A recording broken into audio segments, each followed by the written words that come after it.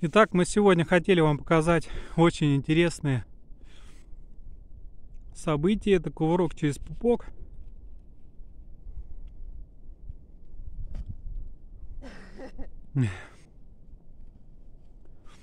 А двойной кувырок через пупок.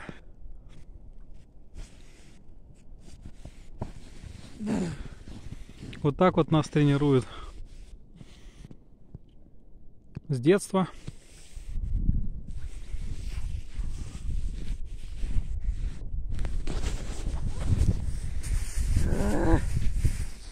com uma lá.